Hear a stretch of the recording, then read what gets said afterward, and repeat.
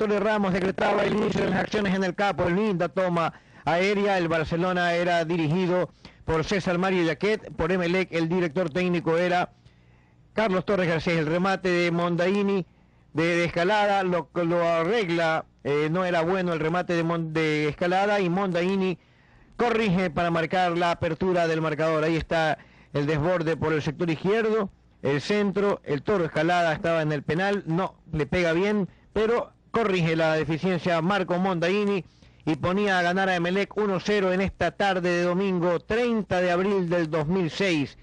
Estaba ganando Emelec en casa por un gol a cero. Aquí está muy buena jugada de Luis Miguel Escalada que soporta la marca de Raúl Noriega. Ahí está Torres Garcés celebrando con la hinchada. El toro Luis Miguel Escalada marcaba la segunda, estaba ya ganando Emelec 2 a 0 en el Capuel. El balón pasa por en medio de las piernas de José Francisco Ceballos. Ahí está, resiste la marca de Noriega y pone la segunda. 2 a 0 ganaba ya el Club Sport Emelec.